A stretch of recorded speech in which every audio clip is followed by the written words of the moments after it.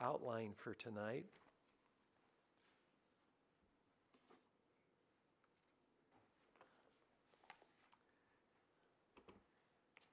We're starting a new, um, not a, it's a new section of the same topic that we've been talking about, and that is God's sovereignty and our, our trusting in Him. Really, that's the theme of it, is trusting God and trusting His sovereignty. Um, that's what this first section has been all about. This next section is a very important part of the whole because we'll be exploring what our responsibility is when we choose to believe in God's sovereignty.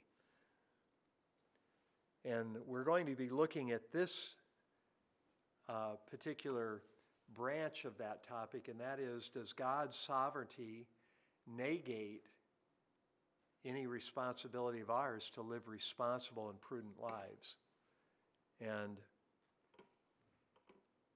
there's an old story about a man who carried the doctrine of God's sovereignty to such an extreme that he drifted into sort of a divine fatalism. And one day, walking down a flight of stairs, he carelessly stumbled and fell headlong to the bottom of the staircase.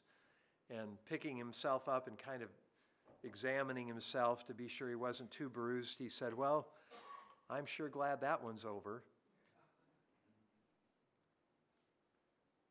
And sometimes people can get into a feeling of fatalism. I think of uh, the matter of extreme Calvinism, where a person says, Well, whoever's going to come to God is going to come to God. They don't need me to do it.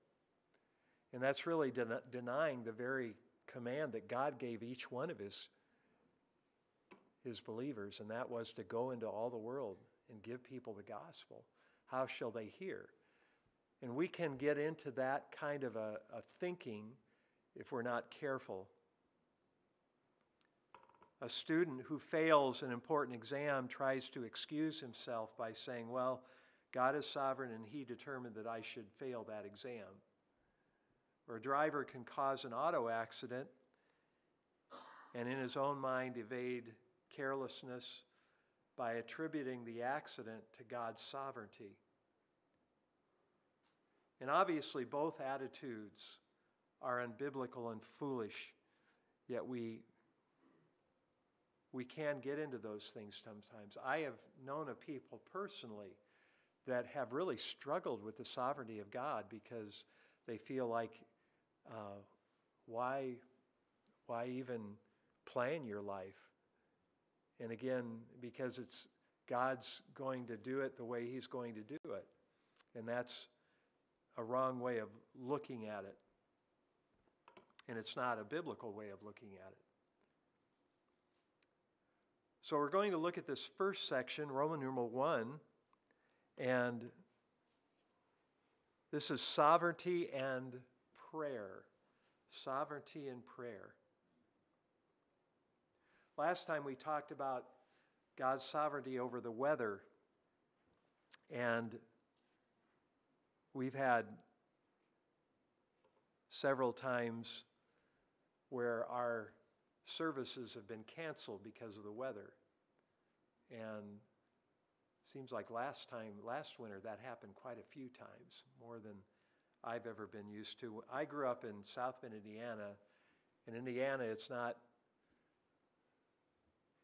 it's not a, uh, an unusual thing to have two to three feet of snow. And we, we were right there close to the Lake Michigan, and there's the lake effect. And I, I just remember so many winters of heavy snow. And, but rarely were our church services canceled. And but that was another day, and I understand that.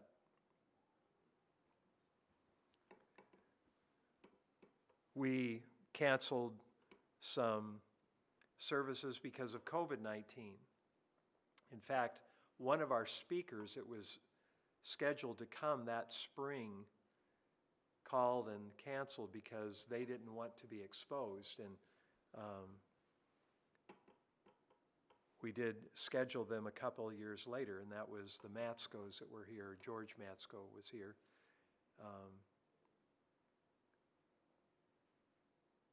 I remember one time we had a couples retreat, and at the last minute, and I mean the last minute, the speaker canceled because his wife was in a severe car accident and he needed to be there for her. But he found another pastor in the area that was able to come in his place, and we had a wonderful couples retreat. But we have those things happen. I remember another time when we had a man coming to give a science, kind of a science. He was going to only be here for a service because he was here for some other things in the city, and and uh, the person who was hosting him asked if we would like him to come, and I said sure.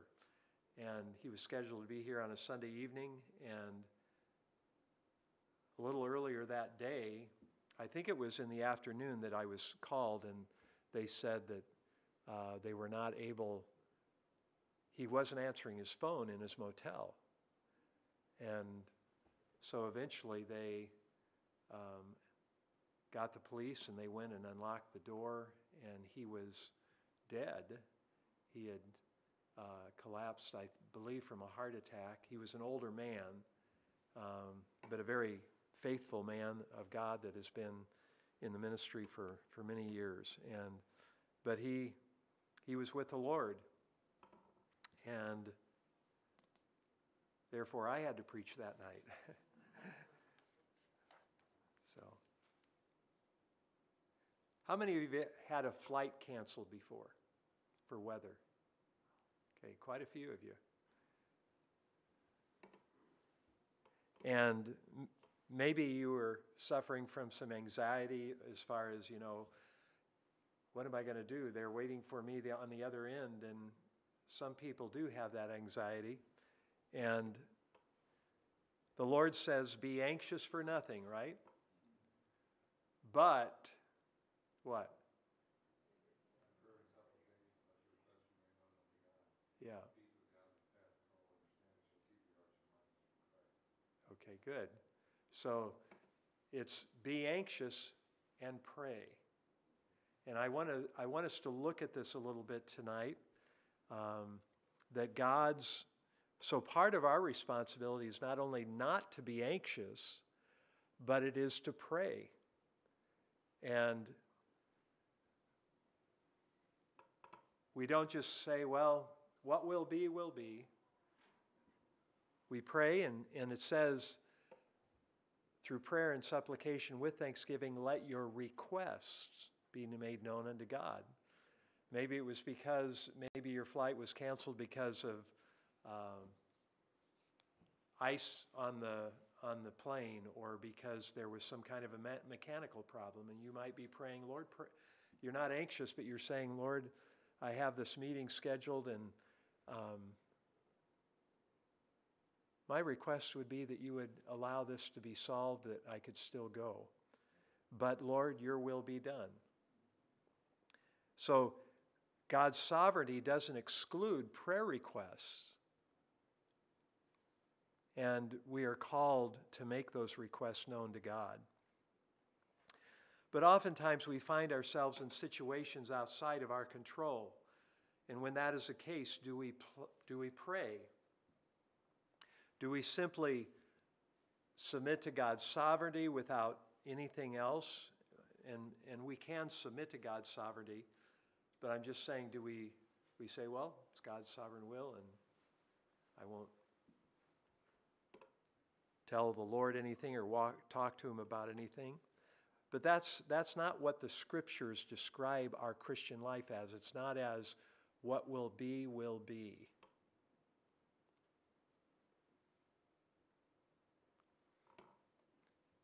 So it's not enough to not be anxious, but we are to make our requests known to God. And then the knowledge of His sovereignty is meant to be an encouragement to pray. I don't think we think of it in that way. The knowledge of his sovereignty is meant to be an encouragement to pray, not an excuse to lapse into a sort of pious fatalism. I want you to turn to Acts chapter 4.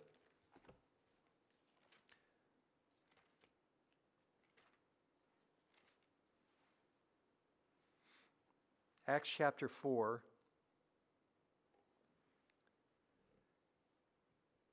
And verse starting in verse 24. And this is when Peter and John came back from being um, in jail for witnessing. And it says they came back and they met with the church, the people. And so when they heard that, it says they raised their voice to God with one accord and said, Lord, you are God who made heaven and earth and the sea and all that is in them, who by the mouth of your servant David have said, Why did the nations rage and the people plot vain things? The kings of the earth took their stand, and the rulers were gathered together against the Lord and against his Christ. For truly your holy servant Jesus, whom you anointed, both Herod and Pontius Pilate with the Gentiles and the people of Israel, were gathered together to do whatever your hand and your purpose determined before to be done. So he's acknowledging all through this the sovereignty of God, right? Sovereignty of God and allowing this to happen to to um, Peter and John, and then the sovereignty of God in allowing Jesus Christ to be crucified. But then notice in verse 29, that's not the end of it. They say, Now, Lord, look on their threats and grant to your servants with all boldness that we may speak your word by stretching out your hand to heal, and that signs and wonders may be done through the name of your holy servant Jesus. That's a request. And they were asking God to do something powerful. And that's what we're talking about tonight. Oftentimes, things that are outside of our control are actually an opportunity for God to be glorified. And that's a time where we, we can make our request known. And wanting God's will to be done.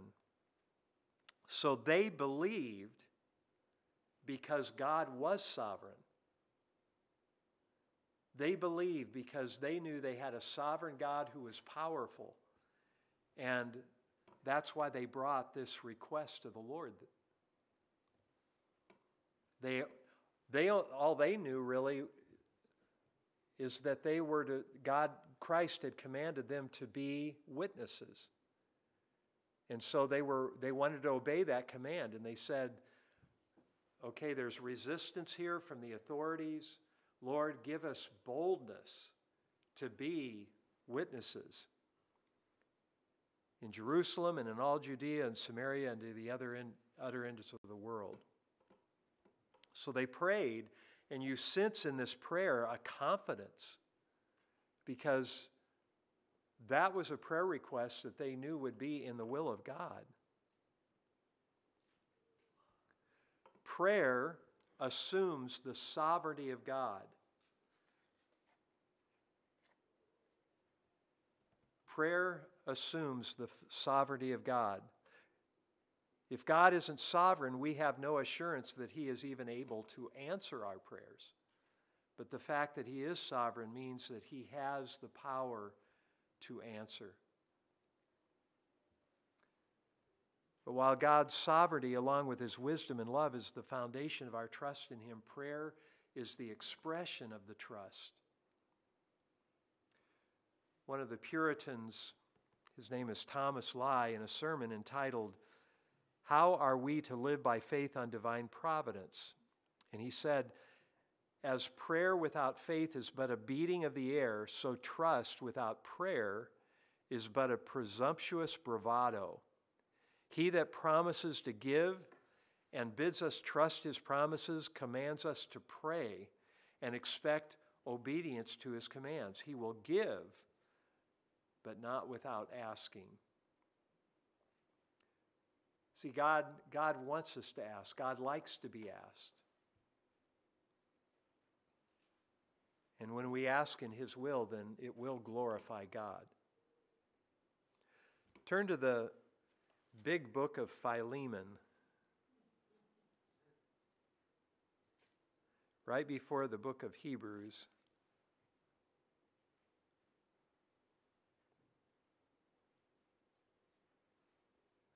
And we have just a, a brief verse. Paul, while imprisoned in Rome, wrote to his friend Philemon, and he said this But meanwhile, also prepare a guest room for me, for I trust that through your prayers I shall be granted to you. Through your prayers, I will be restored to you. And you notice he, he wasn't saying, I, he said, I trust that I will be. So he, he's leaving that door open that maybe this isn't God's will, but he's saying, I, I trust that through your prayers I shall be restored to you, shall be granted to you.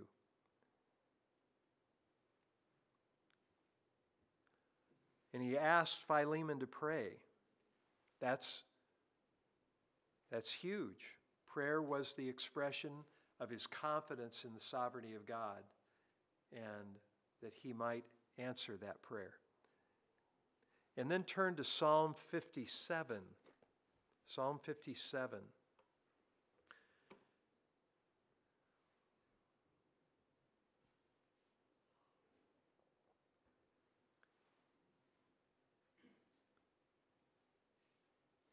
John Flavel was another Puritan preacher, and he was a prolific writer. I have several books by him in my office. He wrote a classic treatise entitled The Mystery of Providence. It was first published in 1678. I have a copy of that. Um, and it's instructive to notice that Flavel begins this treatise on the sovereign providence of God with a discourse on Psalm 57 2. Look at what it says I will cry out to God Most High, to God who performs all things for me. He shall send from heaven and save me. I cry out to God Most High, to God who fulfills his purpose for me. It's another way of saying it. In other words, Flavel says to us, because God is sovereign, we should pray. God's sovereignty does not negate our responsibility to pray, but rather makes it possible to pray with confidence. That should be an encouragement to us.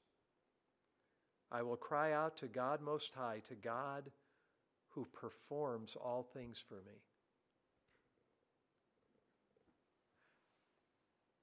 It's encouraging to go, when you're reading through the Bible some year just to put a little P beside those verses that are promises and then go back to them.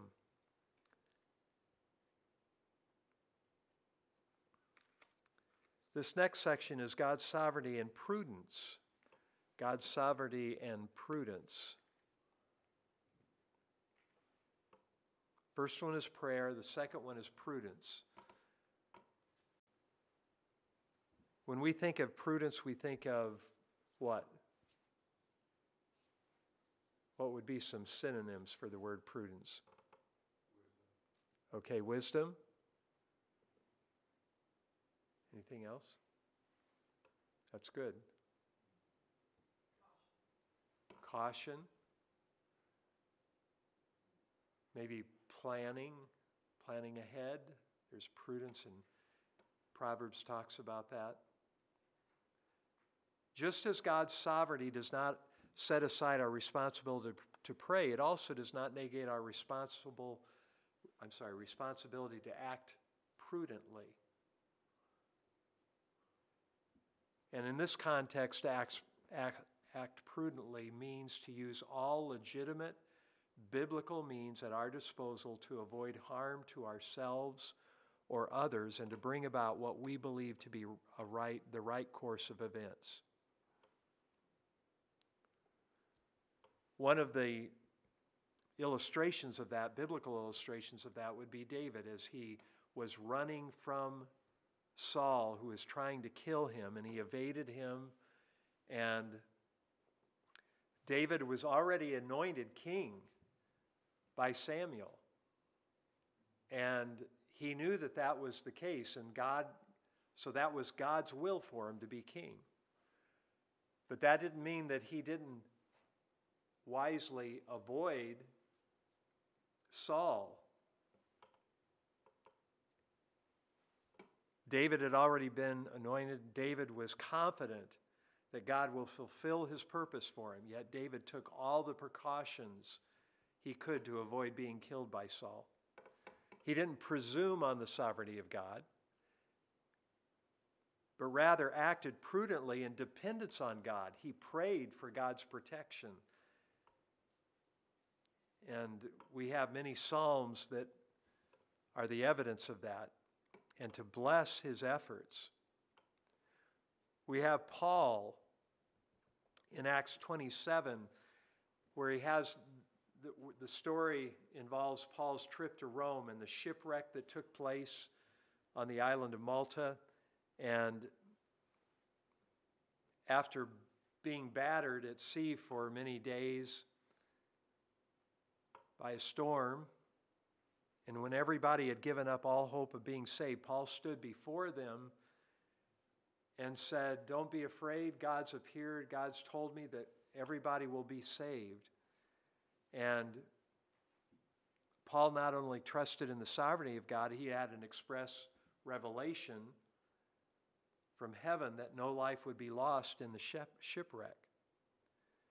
Yet, a little bit later, when he saw the sailors trying to escape from the ship with the lifeboat, he said to the Roman centurion, Unless these men stay with the ship, you cannot be saved. So he, he realized that the presence of the skilled sailors was necessary for the safety of the passengers, even at that point. And he took prudent action. He, he voiced his concern. And as a result of that, all the, everyone was stayed and God's purpose was accomplished. So God uh, Paul did not consider God's sovereign person uh, purpose a reason to neglect his duty, even though in that instance God's purpose had been revealed to him by an angel from heaven. Now, we today don't usually have those kind of experiences. And we don't always know God's sovereign purpose in a specific situation. But we have biblical principles. And we should be even more aware not to use God's sovereignty as an excuse to shirk the duties that He has commanded in the Scriptures. God usually works through means, and He intends that we use the means He has placed at our disposal.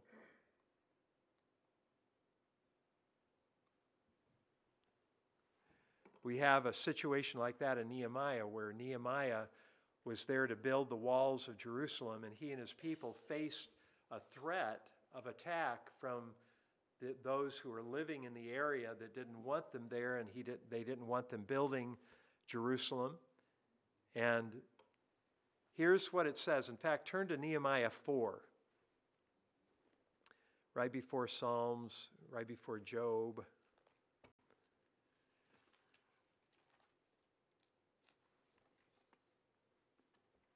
Nehemiah 4, chapter 4, and look at verses 7 through 9. Now it happened when Sanballat, Tobiah, and uh, the Arabs, the Ammonites, and the Ashdodites heard the, that the walls of Jerusalem were being restored and the gaps were beginning to be closed, that they became very angry, and all of them conspired together to come and attack Jerusalem and create confusion. Sounds like today, doesn't it?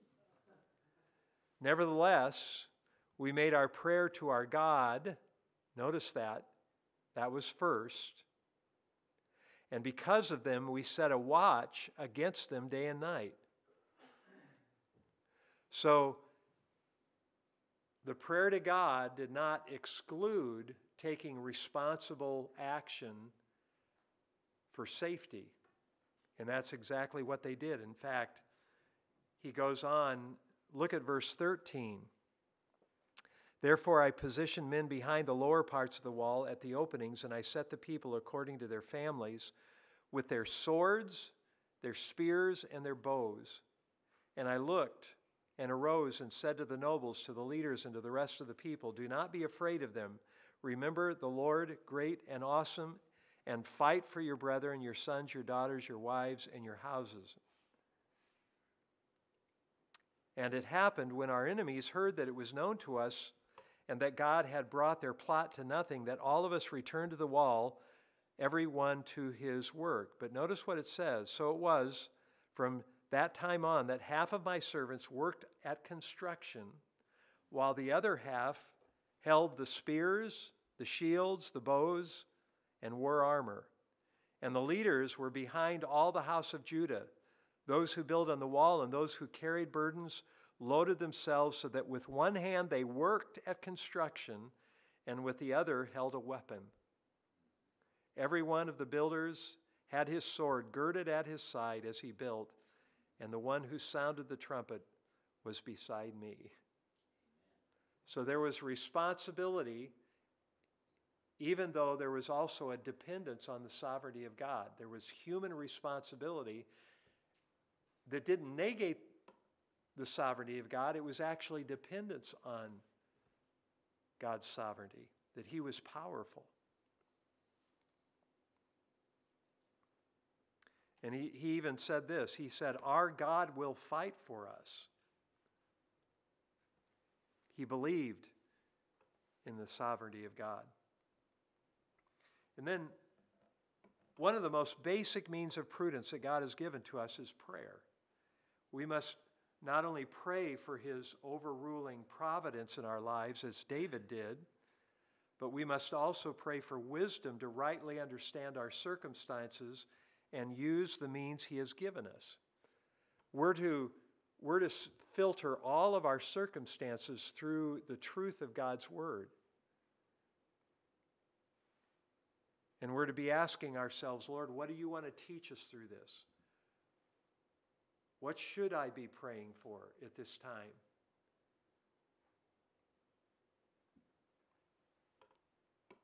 When the Gibeonites, do you remember the Gibeonites in the Old Testament?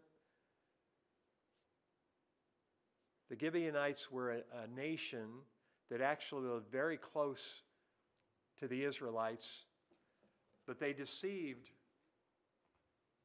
the Israelites because they they were afraid of the Israelites because of all the stories that they heard of them coming out of Egypt and God's supernatural provision for them and how they had just conquered, before entering the, the promised land, they had just conquered two kings.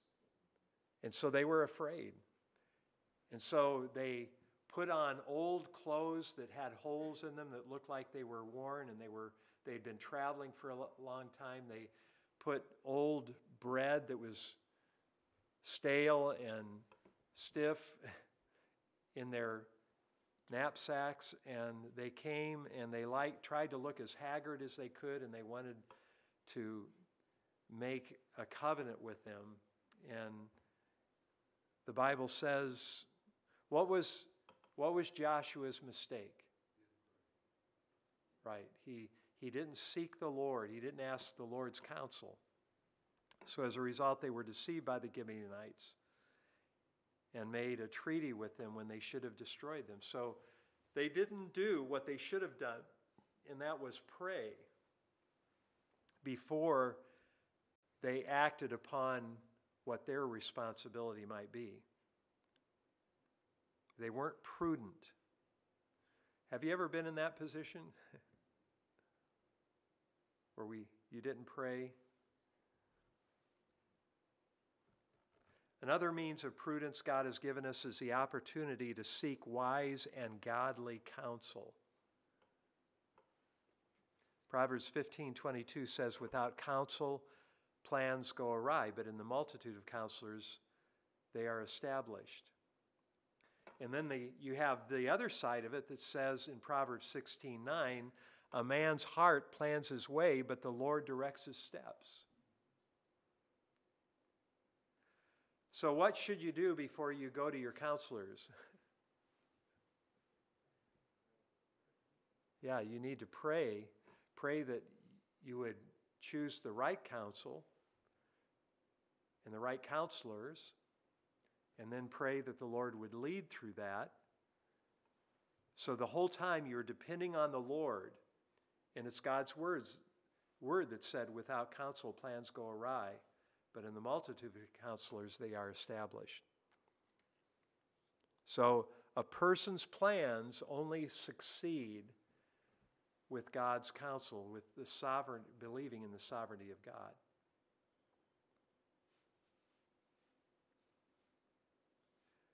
Do you remember what happened to King Asa? King Asa had conquered the Ethiopians who numbered him two to one, and he won that battle. But then 15 or 20 years later, he was facing Baasha, the king of Israel. And you don't sense that he was following the Lord. It was a time of affluence, it was a time where they had had peace for many years. And when that, when King Baasha came up against him, what did he do? He didn't, there's no record that he prayed. It says that he he sent a messenger to the Syrian king asking him to come and support them. And it worked. When that Syrian king came, then Baasha left. But it worked humanly speaking.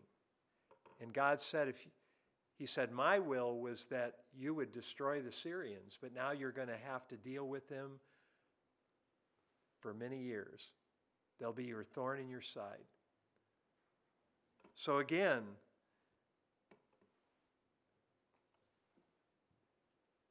King Asa might have said, Look, it was successful. Well, not in God's eyes, it wasn't. And it showed that he wasn't really relying on God, he was depending on his own conniving, doing it his way instead of doing it God's way. So when I say a person's plans succeed only with the sovereign will of God, we've got to be looking at it from God's standpoint. If you're looking at it on a temporary basis, you might see some success, humanly speaking, but it's not going to be the success that God wants. And remember that all the wise counsel in the world cannot enable our plans to succeed contrary to the sovereign will of God. God uses the wise counsel of others to bring our plans into line with His sovereign will. And then the, the next section is prayer and prudence.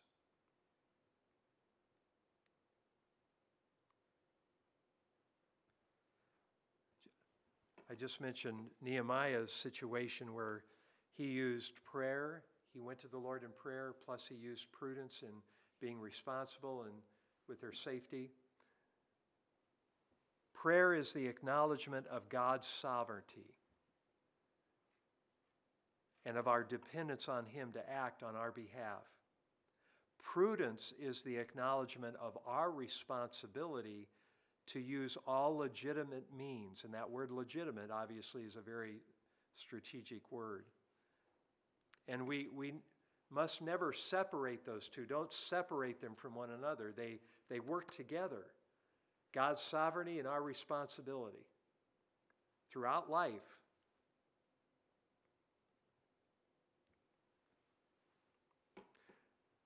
Turn in your Bibles to First Chronicles chapter 5.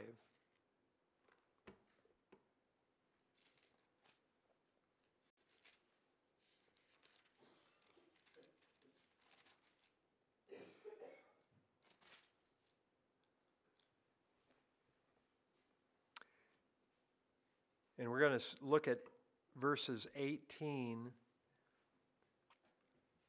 through 20, it says, The sons of Reuben, the Gadites, and the half tribe of Manasseh had 44,760 valiant men, men able to bear shield and sword, to shoot with the bow, and skillful in war, who went to war.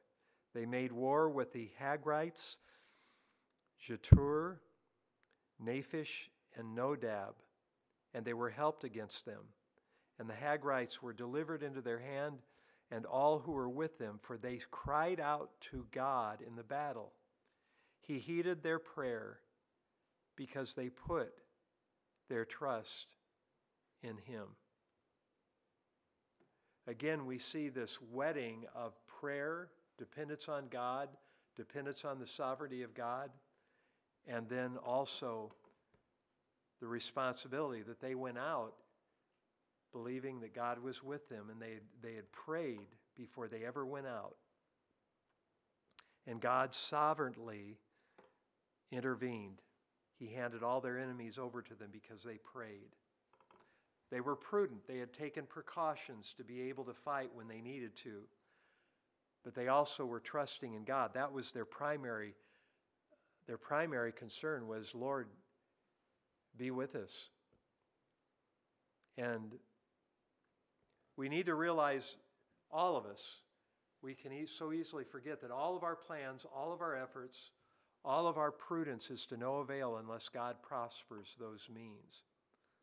This is a common verse that we've all heard, Psalm 127 1. It says, Unless the Lord builds the house, they labor in vain that build it. Unless the Lord guards the city, the watchman stays awake in vain. In that passage, there's this, the concept of both offensive and defensive efforts, of both building for progress and watching against destruction. And in a sense, the verse sums up all of our responsibilities in life, whether it be in the physical, the mental, or the spiritual. We should always be building and watching. So, Psalm 127 says, None of those efforts will prosper unless God intervenes, intervenes in them. And note how strongly the psalmist describes the necessity of God's intervention in our efforts. He doesn't say, unless God blesses or helps the builders and the watchmen, their efforts are in vain. Rather, he speaks in terms of God Himself building the house and watching over the city. Let's find out what it is.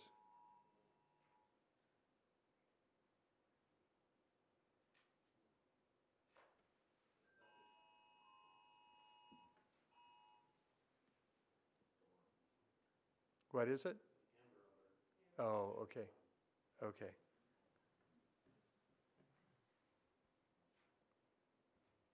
So it's really important that we see that that it's it's it's stating that unless the Lord builds the house and it's almost like the Lord is doing it. And that's the way we have to think of it. Unless the Lord is doing it because we have depended on him, we've prayerfully sought him, and we're saying, Lord, we can't do this without you then it will fail.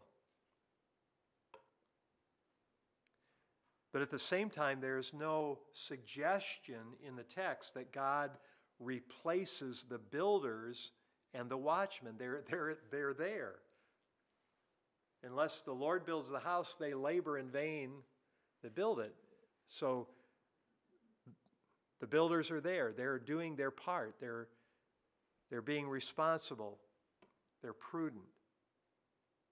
So, the obvious meaning is that in every respect, we are dependent on God to enable us and prosper our efforts.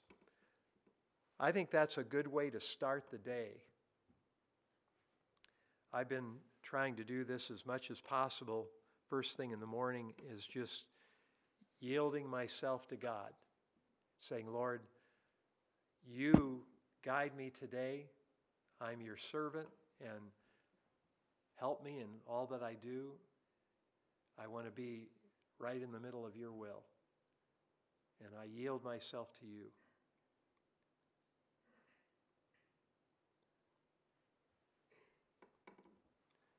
And we must, to the same degree, depend on Him to enable us to do what must, what we must do for ourselves.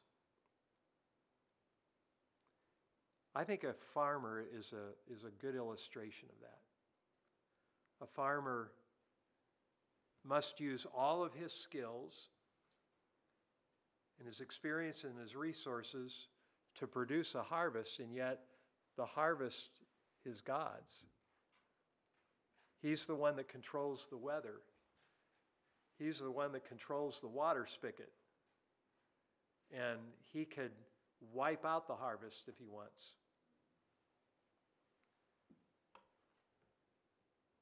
The farmer's utterly dependent upon God to control nature so that his crop will grow. You know, we can, we've planted seed before and put it out there hoping that it would rain, and, and this summer was a particularly dry summer. And that, those seeds did not sprout until we started watering them. And but it's a whole lot easier when God does it. and from where does the farmer get his skills, his ability to learn from his experience, the financial resources to buy the equipment and fertilizer he uses? Where does, where does even his physical strength to do his task come from?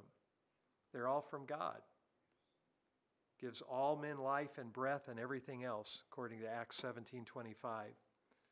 So, in every respect, we're utterly dependent on God. We're, we're dependent on God for our next heartbeat. We're dependent on God for our body to function in such a way that it, it um, our white blood cells run to the problem. It's amazing. Our bodies rebuild themselves, and our bodies are made with those, those protections to guard us from disease. And yes, we understand that through aging that eventually breaks down. But it's God who protects us. It's God who protects us on the highway. There are times when we can do nothing And there are times when we must work. There were times where, you remember, the Lord said to Israel, This isn't your battle, this is mine. You're not going to fight. and he just took them up to the edge of the mountain or the, to the cliff where they looked over the valley and they saw 185,000 soldiers dead. This is my battle. He's a great warrior. and he's called a warrior in Scripture. But in both instances, whether we have responsibility or whether, or whether it's completely up to God in that particular instance, we don't do anything. In both instances, we are dependent on God.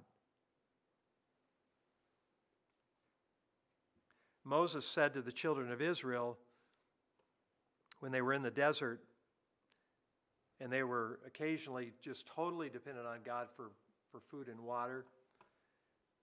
And Moses said to Israel, So he humbled you, allowed you to hunger, and fed you with manna, that he might make you know that, the, that man shall not live by bread alone, but man lives by every word that proceeds from the mouth of the Lord. Now, we as human beings, we try to do everything we can to be self sufficient, don't we? And there are, there are commands in Scripture that we're supposed to lay aside.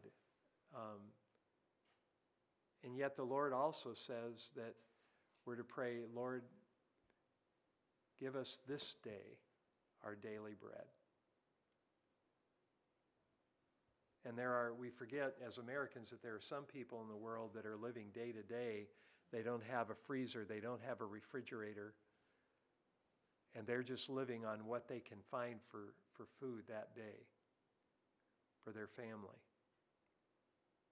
And the Israelites had to learn that they could not simply dig into their food supplies to eat whenever they desired. God reduced them to a conscious dependence upon His daily provision. And Many of us have tried to lay it up in store because of things that are going on today. But ultimately, and, and I, I, I think that's wise, but ultimately we have to depend on God.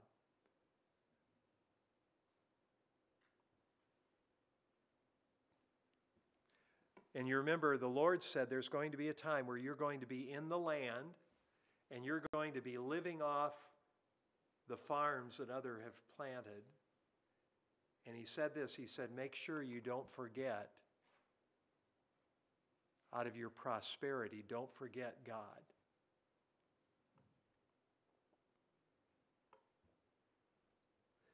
Be careful that you don't say this My power and the strength of my hands have produced this wealth for me. Rather, he warned them to remember the Lord your God, for it is he who gives you the ability to produce wealth. Deuteronomy 8 17 and 18.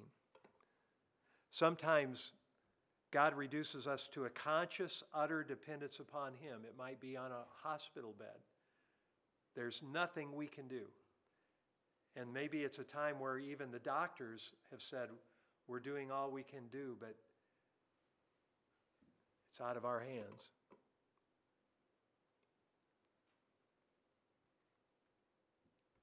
Some here in this room have been in that situation. Unemployment has persisted to the point that the cupboard is bare and no job prospects are in sight. And that at times like that, we realize how dependent we are on God. And let me just say, that's not a bad place to be sometimes. In fact, I would say it's not a bad place to be all the time in terms of dependent on God. Because it's at that time that we learn some of the most important principles in our lives. And we learn more about God and His faithfulness. But we are just as dependent in actuality, when the paycheck comes regularly and all of our material needs are met, and we have plenty in the in the freezer and in the refrigerator and plenty in the bank, but we're still dependent on God. At the same time, we are responsible. The Bible never allows us to use our utter dependence on God as an excuse for indolence Ecclesiastes 10:18 says because of laziness the building decays and through idleness of hands the house leaks. Proverbs 24 says 20 verse 4 says the lazy man will not plow because of winter. He will beg during harvest and have nothing. We are absolutely dependent on God but at the same time, we are responsible to diligently use whatever means are appropriate for the occasion. So, the student who fails her exam, and the worker who loses his job for lack of diligence, and the person who becomes ill because of poor health habits cannot blame a divine fatalism. They have to take responsibility for themselves for their own wrong in doing that. And God normally works through ordinary circumstances. God normally works by, if we have a particular need in our lives, oftentimes He'll use somebody else to meet that need. He'll prompt them. That's, that's still God's sovereignty and His, His provision, but it's using ordinary means in many, most of the time.